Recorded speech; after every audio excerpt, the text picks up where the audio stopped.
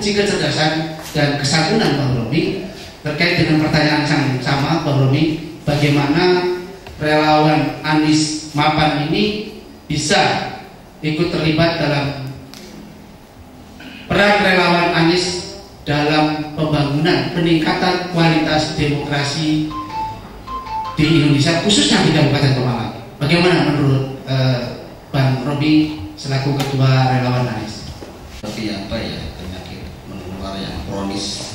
Seluruh Indonesia yang mengalami seperti itu termasuk di Pemalang. Seperti saya mungkin sama Bang Eka juga mengalami hal sama. Dikala kita mengumpulkan relawan sendiri kadang-kadang kita berpikir ini nanti dana dari mana nanti jangan-jangan orang-orang yang kita kumpulkan nanti minta amplop seperti itu ya. Jadi memang ini apa ya masalah bersama. Tapi alhamdulillah mungkin baik saya maupun BNK ini punya teman-teman relawan yang militan alhamdulillah seperti saya dikelilingi oleh teman-teman yang eh, apa tidak kata duitan seperti itu. Jadi malah mau bergotong royong mau saling urunan mau, mau ber apa saling menyumbang baik untuk kegiatan untuk kegiatan relawan maupun untuk kegiatan sosial sama seperti itu.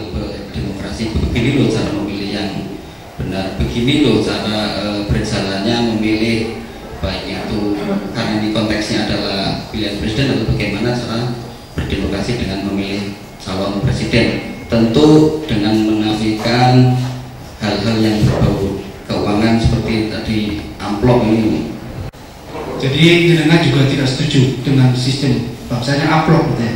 Itu melawan norma pendidikan demokrasi. sangat-sangat melawan norma pendidikan demokrasi di seluruh dunia Gitu ya? setuju nggak kalau amplopnya tidak ada? Ya. Setuju nggak? Iya. Ya, Bang, ya, Bang Romi. Ya. Satu hal, ini kan relawan Anies dikenal dengan kesantunannya dan religius Terkait dengan hal dua hal itu, ini kan relawan ini kan sangat maju. Bagaimana untuk menangkal pendapat-pendapat? Karena saya melihat di media yang banyak di dibully, banyak dinyinyirin itu relawannya Anies. Ini menyikapi hal itu bagaimana, Pak? Eh, kalaupun ada hal-hal seperti itu, itu menurut saya hanya sebuah asumsi, tidak ada data, fakta maupun eh, pernyataan dari Bang Anies maupun dari relawannya yang menga- menga- mengarah ke hal-hal seperti itu.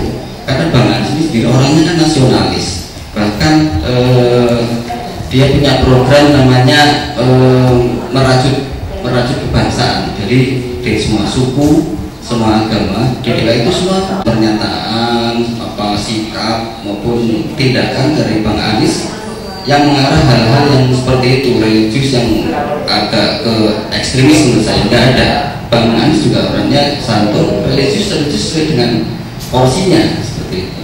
Ya, Bang Robi, saya agak miris kalau melihat di media. Saya membaca literasi di Indonesia ini ada sekitar 700 bahasa, termasuk bahasa Indonesia. 700 lebih di seluruh Indonesia. Ada 1.300an suku, suku, 300 etnis lebih. Pak Anies ini sering dikait-kaitkan dengan hal itu, keahlian, kekaguman, itu. Nah menurut jenengan sebagai ketua relawan di daerah yang kebanyakan nasionalismenya itu sangat kuat. Nah kalau Pak Anies kan nasionalis religius, apa pendapat Pak Rudi dengan hal itu?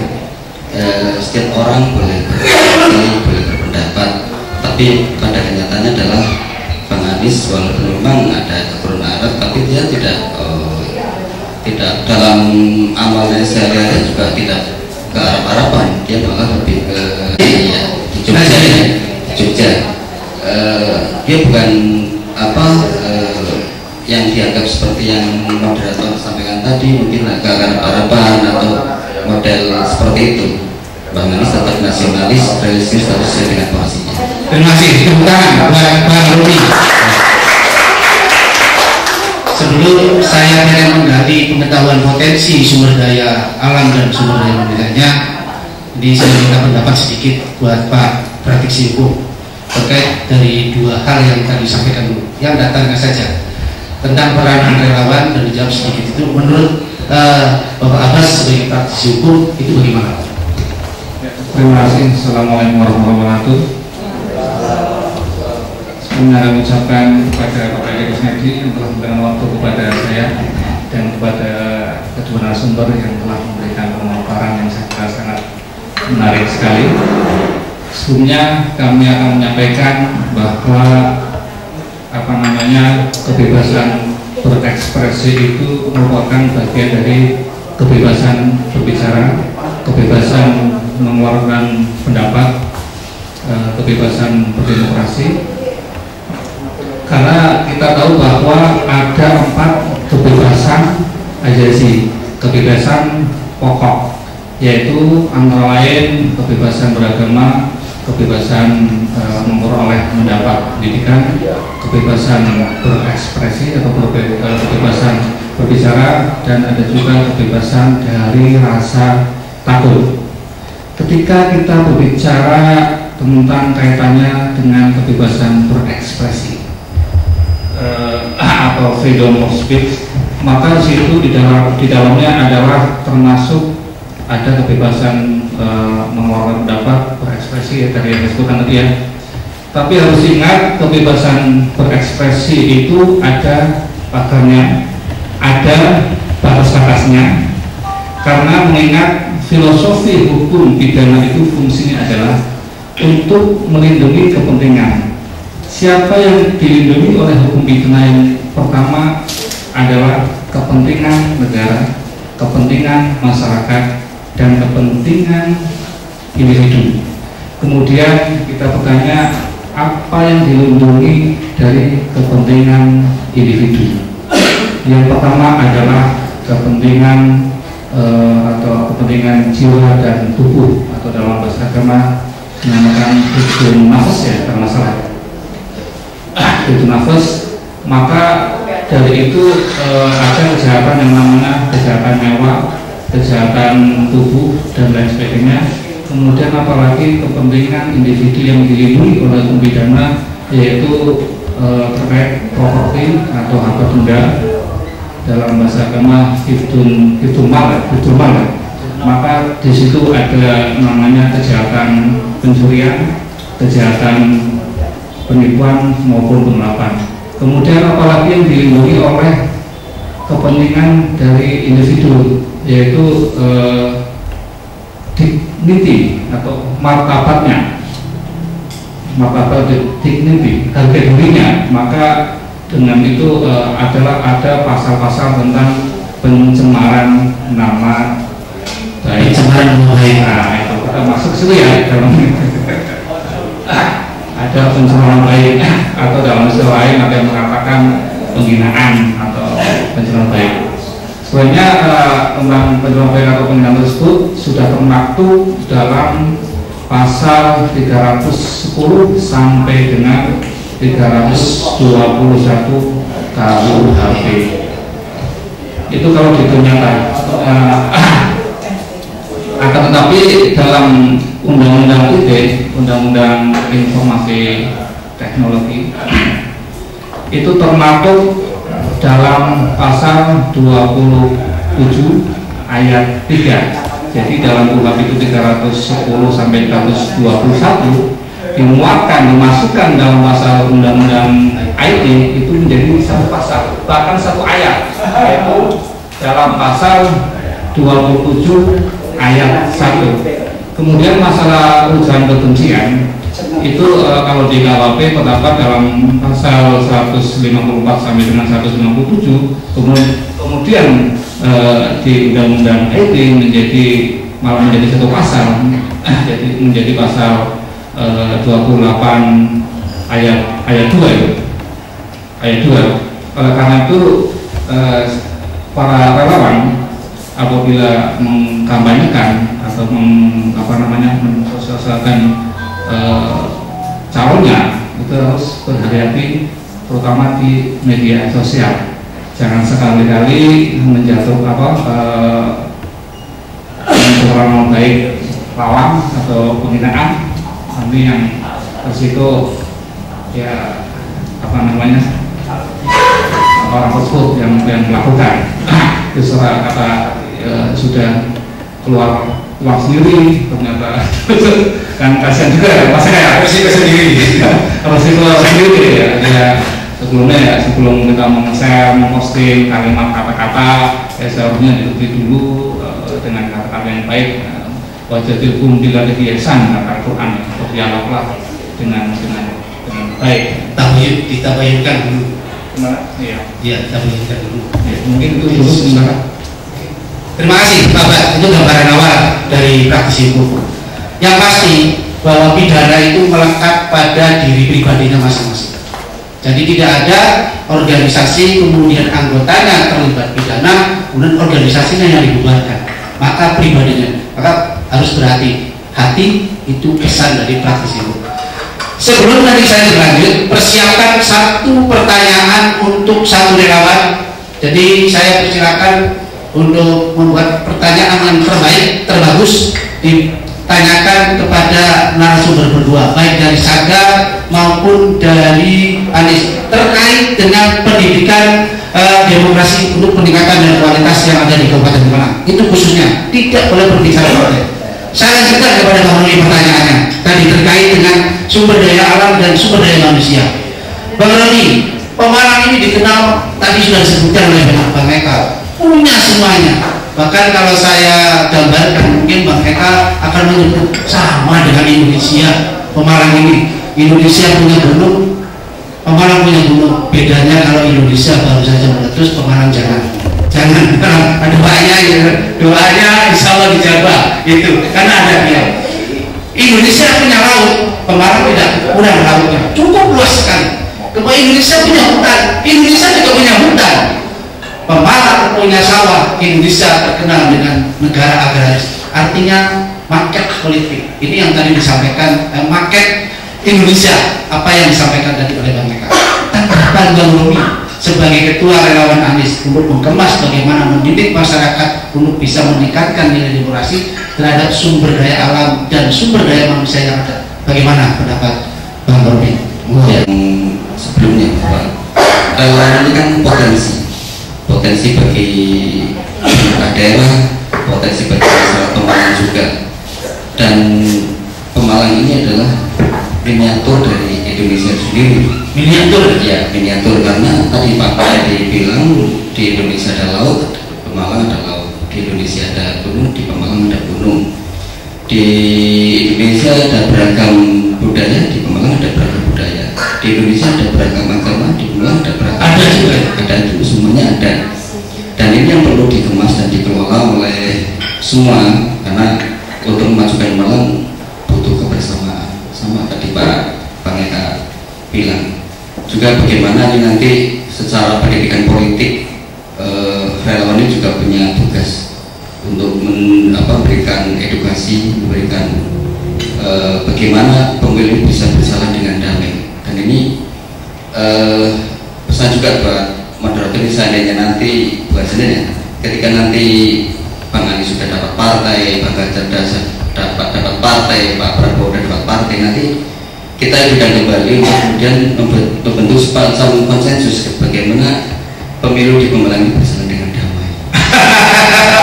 Wajib Ino. Tentu setuju. Yakin saya setuju teman-teman ini yang ini juga eh, seperti yang tadi disampaikan Bang Abbas bahwa sangat kita harus sangat hati-hati bagaimana berbicara di medsos apalagi tentang eh, bagaimana saling bersaing dalam kampanye pilpres. Ini biasanya teman-teman ini yang dalam bermain medsos ini kadang eh, terlalu maju jadi eh, ada indikasi menjelek menjelekan calon presiden lain. Yang ini juga saya beberapa kali di grup saya juga saya sampaikan.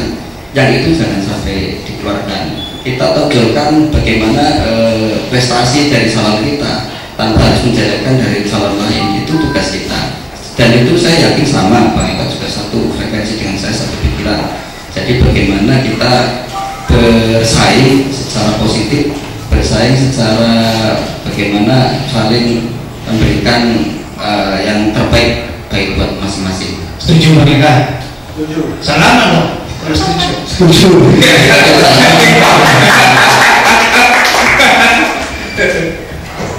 Itu Bang Romi. Ya. Ya, terima kasih. Ini sungguh indah kalau memang praktek di lapangan ketemu dengan anggota relawan, kemudian bersama-sama berbuat tadi yang disampaikan oleh Eka. Relawan saja ini sudah melakukan kegiatan sosial.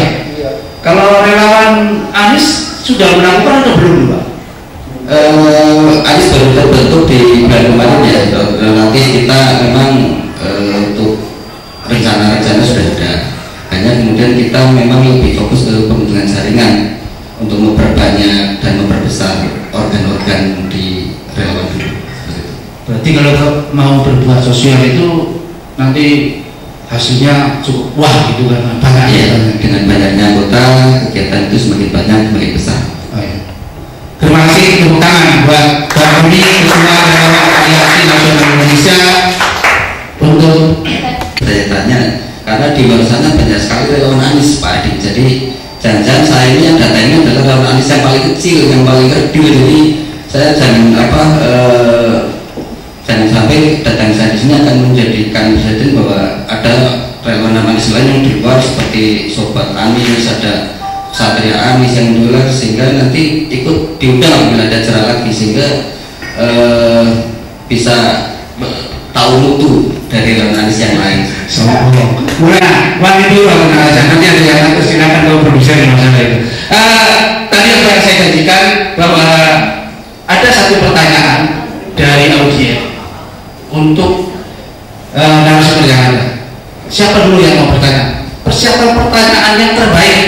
Yang terbaik ya Pak. Kalau nggak terbaik berarti nggak. SG dan Ketua Anies langsung sekaligus pertanyaannya yang mau saya tanyakan coba sebutkan kesuksesan calon yang anda bawa masing-masing sekian terima kasih Assalamualaikum Ini pertanyaannya simpel jawabannya sepanjang pemahaman. Iya, simpel. Sebutkan keberhasilan yang sudah diraih oleh masing-masing calon pemimpinnya. Yang pertama, buat Pak Eka, apa saja yang sudah diraih oleh Pak Ganjar dalam memimpin eh, provinsi Jawa Tengah untuk bisa dijual menjadi calon presiden, kemudian bisa dilirik oleh partainya. Monggo, Pak Eka. Eh, benar ya. Nanyanya sederhana tapi jawabannya panjang kali. Eh, kenapa panjang sekali? Karena begitu banyak prestasinya Pak Ganjar ya sehingga saya saya sampaikan yang yang umum yang yang juga diketahui bersama. Karena beliau eh, sosok Ganjar Pranowo sudah teruji memimpin dua periode di Provinsi Jawa Tengah ya, Provinsi Jawa Tengah ini ya, yang kita dialami bersama. Saya kira masyarakat bisa menilai selama pemerintahan beliau di Jawa Tengah, beliau banyak melakukan keberatan-keberatan seperti misalnya beliau ini orang yang orang yang birokrat tapi tidak birokratis ya birokrat tapi bergaul dengan milenial segala macam dengan rakyat segala macam nggak ada jarak lah bahasanya itu. Termasuk dalam hal penentuan birokrasi penentuan pejabat-pejabat birokrasi. Kayak misalnya ada ada ada kepala sekolah SMA yang berprestasi dia lelang menjadi kepala kepala dinas bahkan di, di Jawa Tengah. Artinya berdasarkan prestasi sama sekali tidak berdasarkan kedekatan apalagi berdasarkan jual beli jabatan enggak beliau enggak orangnya coba enggak, enggak, enggak seperti itu enggak teruji terus Jawa Tengah lebih dari sekali mendapatkan predikat provinsi yang paling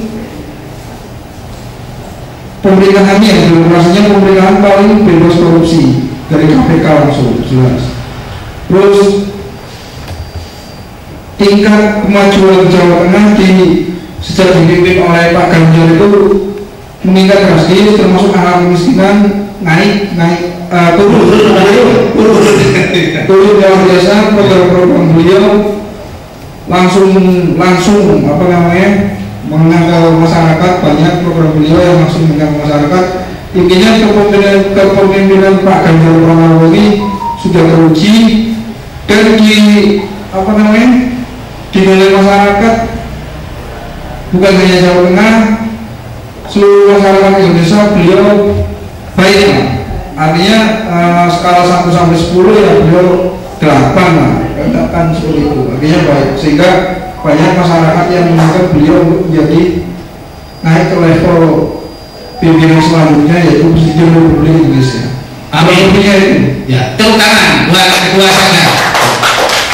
Itu Bang Berki pertanyaan tadi bahwa apa yang dicapai oleh Pak Ganjar tadi sudah sebutkan memang panjang karena nyebutkannya ya yang panjang itu. Kalau itu sih simpel ya juara juara juara gitu ya. Betul. simpel juara juara tapi karena panjangnya jadi juara. Jadi mudah-mudahan Pak Ganjar nanti ke depan juga bisa tercapai apa yang diharapkan oleh uh, relawan Saga. Pak Roni, pertanyaan yang sama, pertanyaan yang sama. Apa sih prestasinya? Wah Anies itu biasa-biasa saja.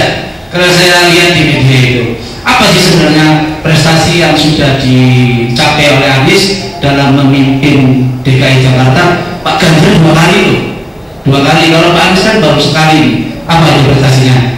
Banyak. Pak Bang Anies baru 4 tahun ya jadi setahun lagi selesai dari 4 tahun itu prestasinya sangat luar biasa kalau bisa lihat di Google itu banyak sekali ada 200an prestasi yang kalau 200? saya tidak bisa sebutkan di sini tapi yang kemudian yang paling menonjol adalah yang terbaru adalah bagaimana penataan moda transportasi Jakarta yang terbaik di dunia Terbaik di dunia. di dunia Baru mana masuk sana sih?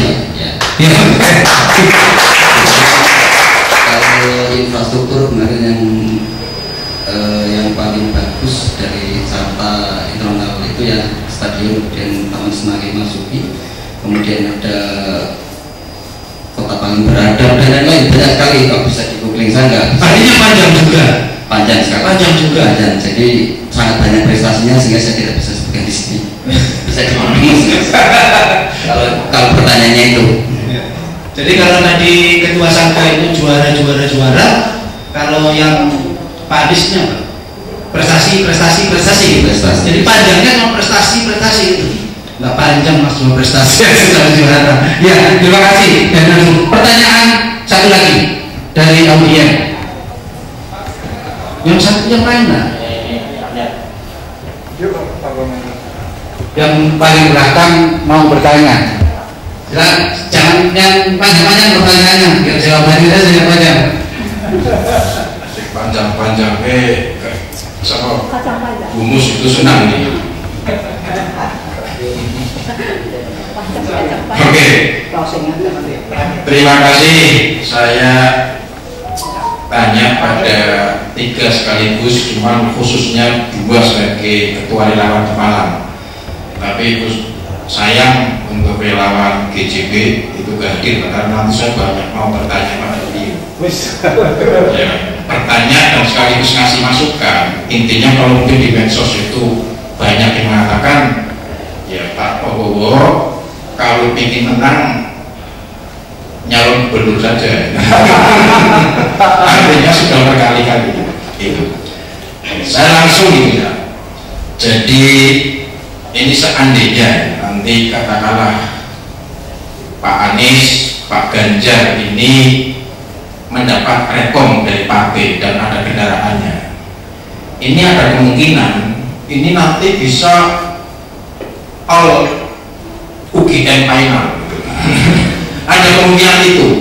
Nah, cuman sebagai relawan mestinya pastinya mungkin punya harapan-harapan mungkin nek iso aja kayak gitu atau nek iso sekaligus kaya mungkin ketemu langsung atau nek iso harapan bersatu misalnya nah ini mungkin pertanyaan saya apakah harapan-harapan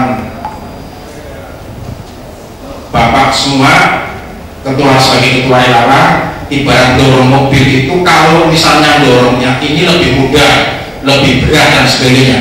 Kemudian kalau ternyata kemudian misalnya ternyata dua-duanya karena sampai saat ini tadi kan salah satu kendalanya dua-duanya tidak memiliki partai. Dan ada kemungkinan artinya meskipun politik dinamis ada kemungkinan nanti bisa juga nggak dapat tumpangan partai kalau misalnya itu terjadi gimana relawan apakah langsung putar balik relawan apa?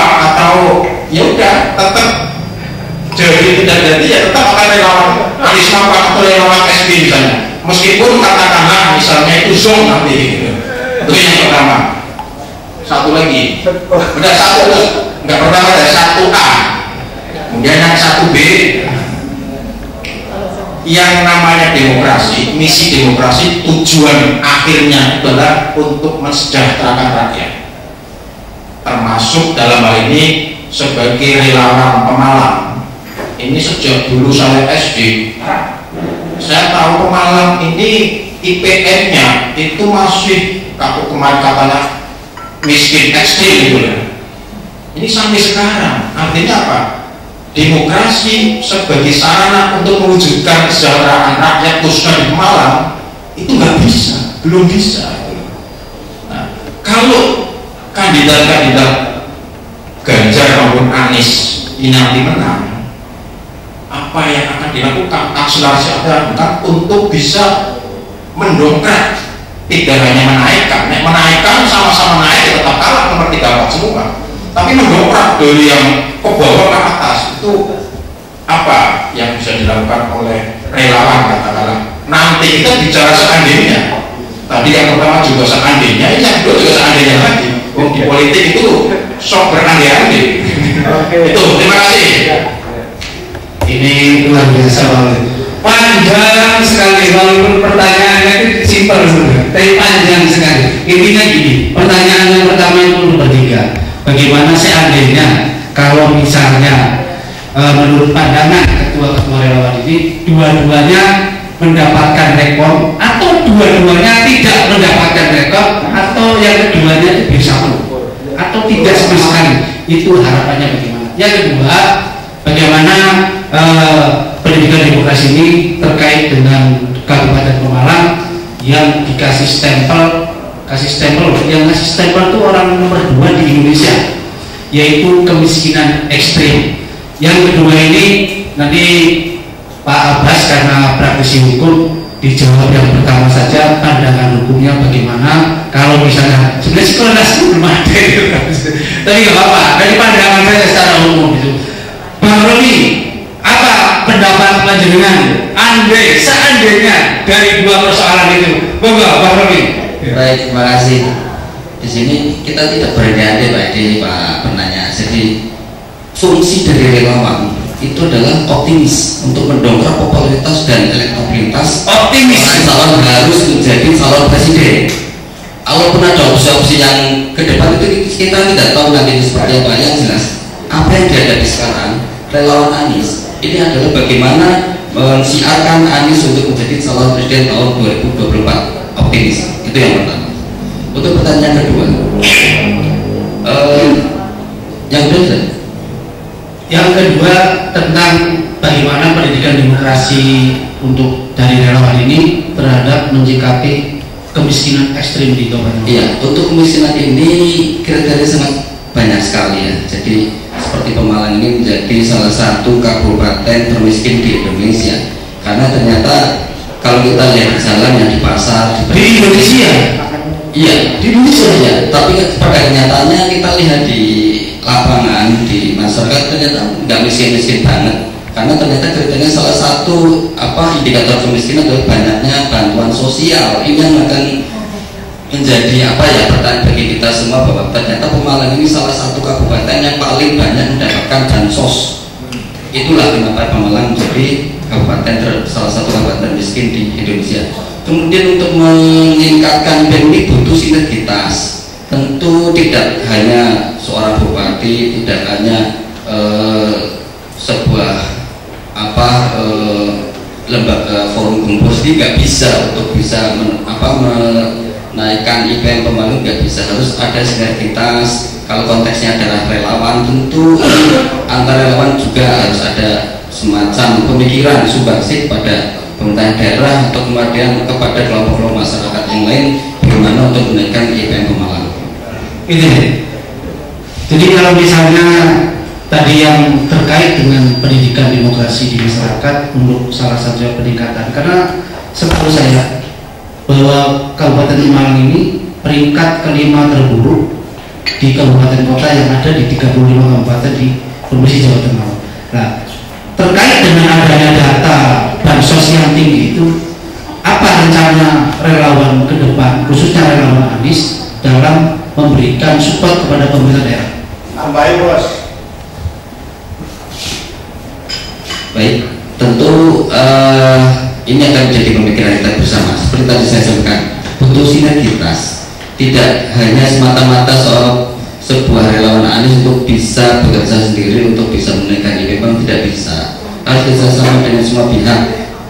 Tidak hanya relawan Anies relawan Ganjar, relawan Prabowo harus bersama-sama untuk bangun Pemalang tidak bisa sebuah lembaga namanya relawan Anies itu untuk bisa menaikkan IPM Pemalang tidak bisa. Harus kerjasama dengan semua elemen masyarakat termasuk dengan elemen relawan-relawan yang lain.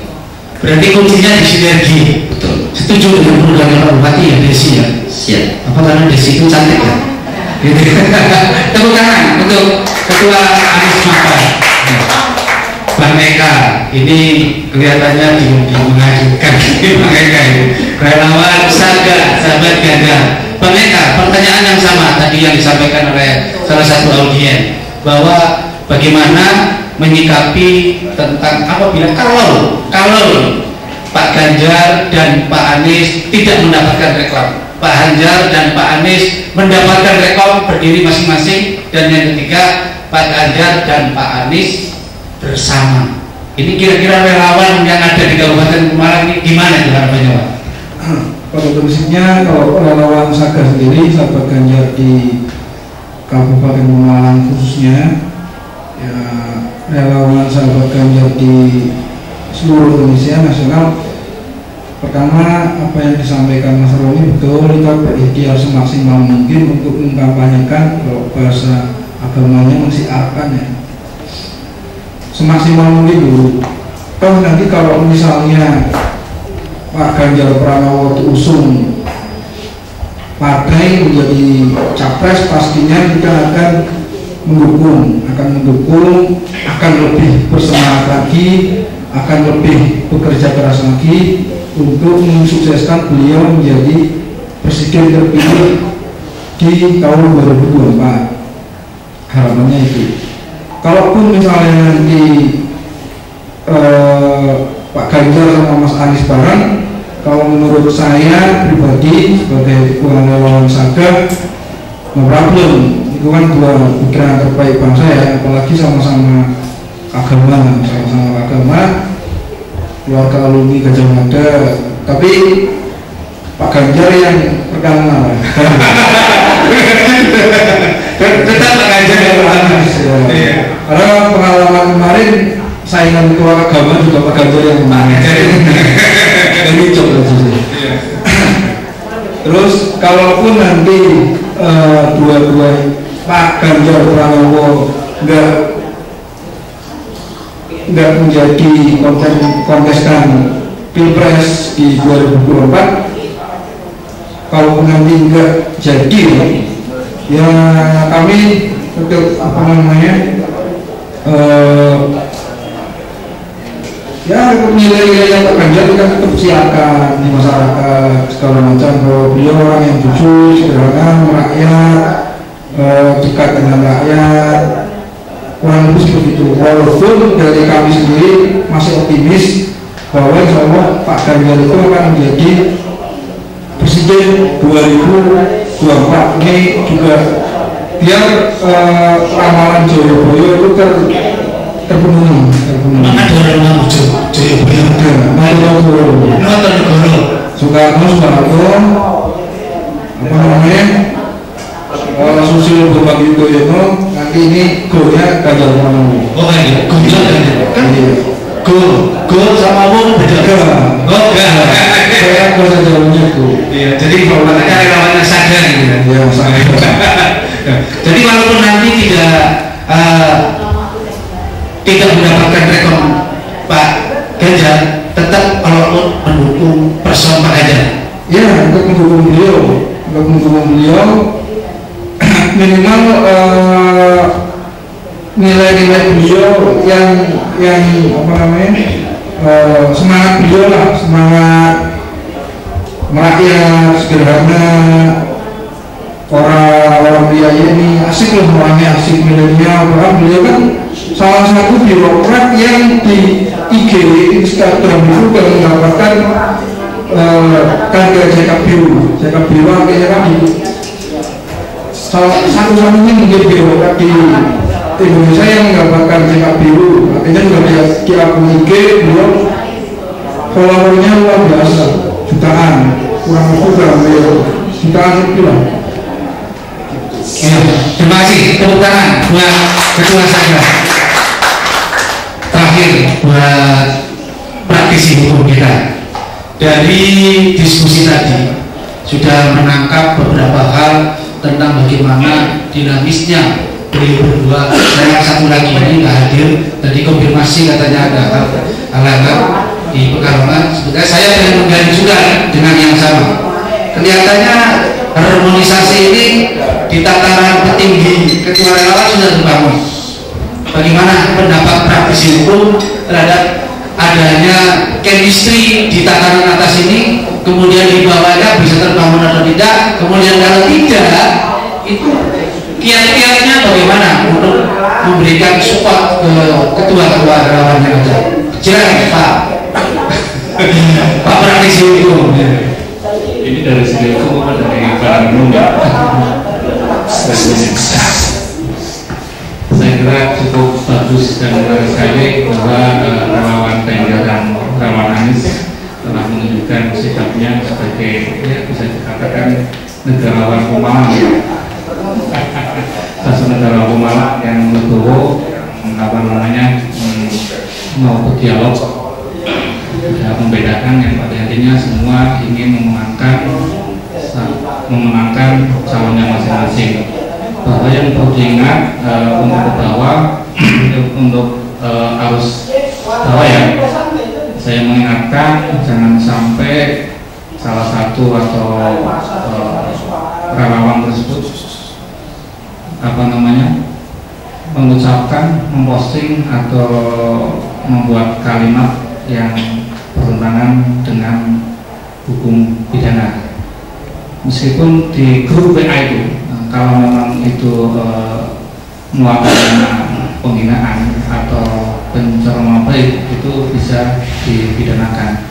Karena apa? Karena Undang-Undang ITE eh, yang salah satunya adalah delik penyebaran dan delik penyebaran itu minimal dilihat eh, lebih dari satu orang itu bisa bisa bisa meskipun itu delik delik aduan ya kalau memang orang yang merasa dihina merasa menjadi korban eh, itu mengadukan atau melaporkan itu bisa maka dari itu saya harap kami harap bahwa apabila tadi apa namanya memposting mengamanyakan mengiklankan calonnya ya hati-hati dengan kepala yang jernih mencari kata-kata yang apa namanya yang yang baik lah saya kira itu baik Ya, terima kasih.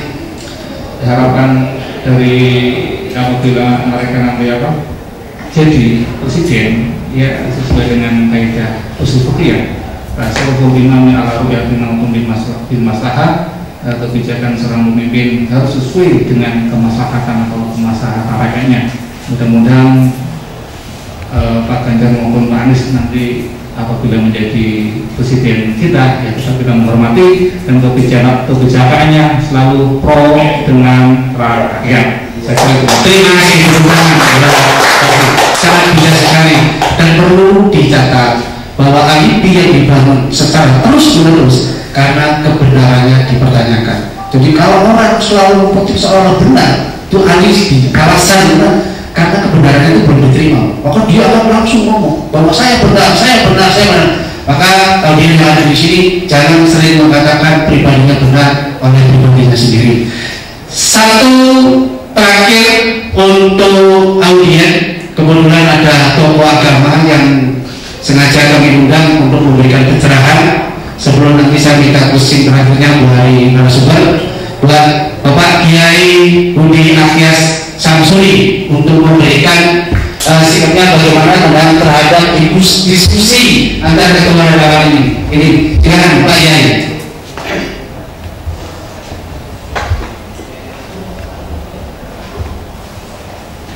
Assalamualaikum warahmatullahi wabarakatuh. Bismillah, Alhamdulillah, Mabadu yang kami hormati Ketua Relawan Gembur FKP Kabupaten Pemalang dan seluruh jajaran pengurus sahabat-sahabat semua anggota Gempur dan juga para relawan Pilpres 2024 Alhamdulillah wasyukurillah sore pagi sore hari ini FGP telah memberikan satu apresiasi kepeloporan untuk melakukan ngopi malam oleh karena itu kami apresiasi dan sampaikan terima kasih yang sebesar-besarnya yang kedua terkait dengan diskusi yang luar biasa menurut kami ini yang pertama kaitannya dengan perbedaan pilihan atau dukungan terhadap uh, calon presiden ini. Mari kita bersama-sama kita anggap sebagai satu perbedaan pilihan dan dukungan ini sebagai rahmat. Yang semata-mata itu adalah ajaran agama. Oleh karena itu di dalam kita bertindak, berbuat dan berucap tentunya harus selalu sesuai dengan koridor di mana kalau kita tidak bisa berucap dengan baik maka agama memberikan satu panduan auliasmu. Sebaiknya kita diam. Yang kedua dengan adanya undang-undang ITE dan juga undang-undang terkait dengan uh, membuat sesuatu yang tidak nyaman. Ini adalah sebuah pasal karet yang bisa digunakan siapa saja. Oleh karena itu dari dari tadi praktisi hukum sangat wanti-wanti terhadap undang-undang ITE dan juga undang-undang perbuatan yang tidak menyenangkan ini sebagai satu ranah untuk delik pengaduan ini supaya masing-masing relawan ini harus betul-betul mencatat dan itu masuk ranah akhlakul karimah dan mari kita gunakan selalu manajemen uh, yaitu manajemen yang menyenangkan manajemen yang uh, sesuai dengan koridor-koridor akhlakul karimah. Selanjutnya kaitannya dengan demokrasi ini kita memang ibarat sholat ini kita baru menjelang subuh. Baru menjelang subuh. Padahal pilihannya itu nanti maghrib. Jadi masih ada zuhur dan asar. Akan tetapi bagi para relawan sah-sah saja melakukan sebuah start mulai sebelum subuh ini.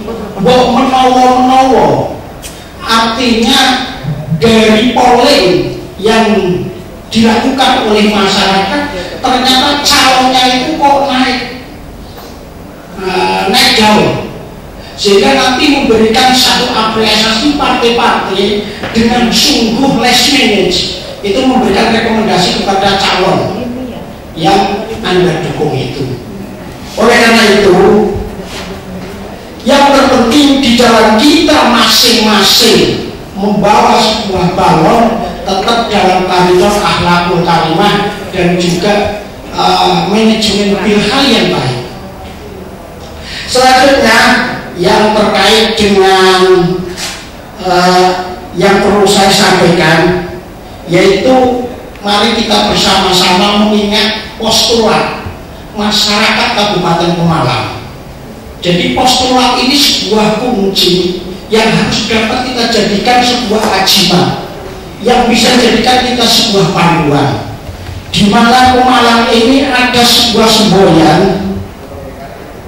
Bantai Wareng yang Payudan Teng Simanudan Bantai Wareng yang Sinonderan rawi-rawi rantas malam-malam utuh ini sejarah awal berdirinya Pemalang itu yaitu eh, postulat semacam itu harus berjalan dengan baik artinya banteng-banteng waret itu adalah rakyat-rakyat kecil.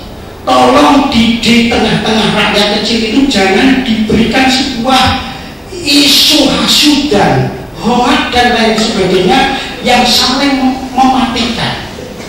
Kembali kita kepada akhlakul kalimah kembali kepada tuntunan ajaran kita yang selalu mengedepankan sebuah ucapan yang bil hikmah jangan artinya kita membuat dan menyebarkan berita-berita hoax dan lain sebagainya.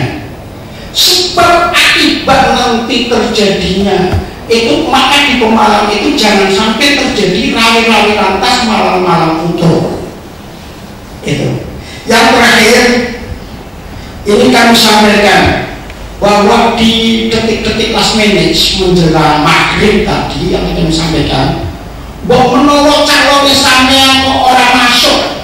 Atau calonnya yang kita usung itu kok tidak kebagian partai. Ya maka jalan terakhir bagi kita relawan mari kita bersama-sama menggunakan sebuah uh, idiom yaitu sawadul akdom siapa yang terbesar mari kita dukung bareng-bareng sawadul akdom ini penting maka di dalam sebuah relawan harus ada kerelaan harus ada sebuah uh, uh, bareng-bareng nyengkuyung bareng-bareng sehingga pemalang itu tidak terjadi rawi-rawi rantas malam-malam putung itu saja harapan kami. Mudah-mudahan semua relawan semua relawan uh, uh, ikhlas sama-sama monggo kita sama-sama ketika masih sebelum subuh ini kita rame-rame menjual potensi masing-masing sehingga barangkali ada waktu duhur, ada waktu asar, last minute-nya kita masuk. Sehingga ya, monggo dan saya sangat apresiasi dengan Gempor ini. Sehingga Gempor harus terus mengadakan ngopi ala-ala terus. Ya, ngopi ala-ala. Terima kasih.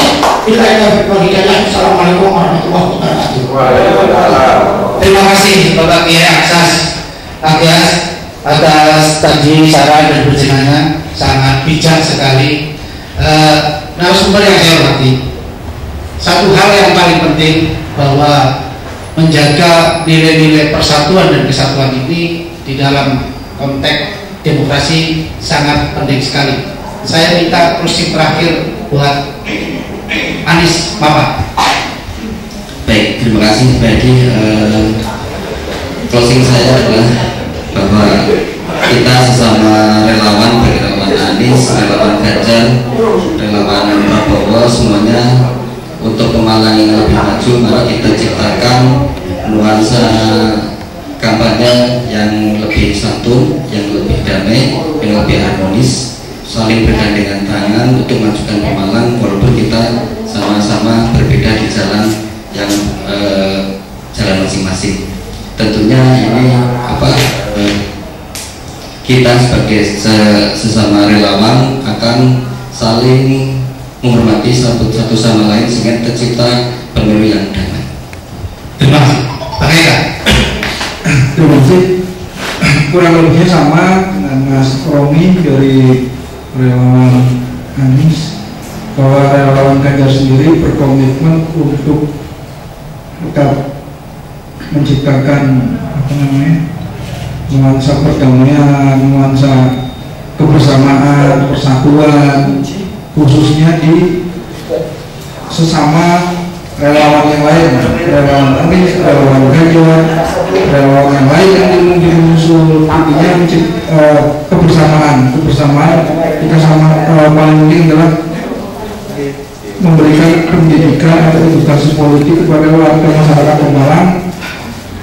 Soal soal demokrasi bahwa kita memilih dalam memakai hati nurani tapi juga tidak meninggalkan akal ya kita lihat prestasinya kita lihat sosoknya figurnya kurang lebihnya itu sih prinsipnya kami akan kami hadir untuk memberikan untuk mewarnai demokrasi di Pemalang dengan kebersamaan terima kasih Terima kasih.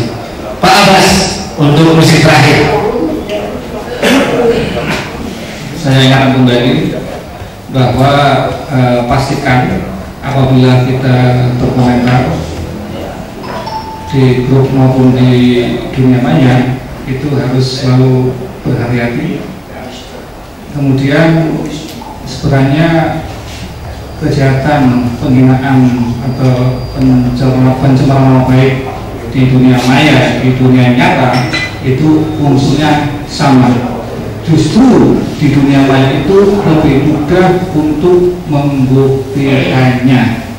Karena apa? karena tadi sudah saya sampaikan eh, kalau delik eh, penghinaan atau penyebaran apa namanya pencemaran baik itu ada dari penyebaran yang minimal bisa dilihat lebih dari satu orang itu bisa eh, ditarakan seperti itu Terima kasih kepada Pak Rondo. Satu setengah jam sudah kita lalui dari kegiatan ini. Intinya bahwa ngopi alang-alang kali ini bukan berbicara tentang partai, bukan berbicara tentang calon presiden dari partai, tapi bagaimana relawan-relawan ini bisa mengangkat anak bangsa untuk bisa disampaikan kepada para pihak yang penentu daripada pencalonan itu bisa untuk dilihat kami sangat berapresiasi terhadap kinerja para relawan. Mudah-mudahan apa yang dicita-citakan oleh beliau-beliau ini bisa tercapai dan bisa membawa masyarakat, khususnya masyarakat Pemalang dari hasil diskusi ini ada solusi-solusi yang baik. Terima kasih. Tepuk tangan buat para narasumber semuanya. Wassalamualaikum warahmatullahi wabarakatuh. Berjumpa lagi di episode yang akan datang bersama channel YouTube TV Pemalang.